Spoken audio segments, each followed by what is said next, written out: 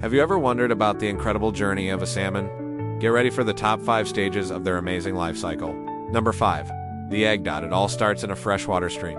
A mother salmon lays thousands of tiny, orange eggs in a gravel nest called a redd. They'll stay here, safe and sound, for a few months. Number 4. The alevin once hatched.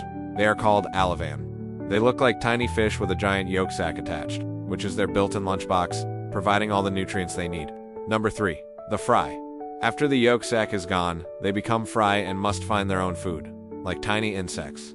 They're starting to look more like mini salmon. Number 2. The As they grow, they undergo a transformation called This prepares them for the biggest adventure yet, migrating from freshwater to the vast salty ocean. Number 1. The adult. After years in the ocean, they make the epic journey back to the exact stream where they were born to spawn, starting the whole beautiful cycle all over again.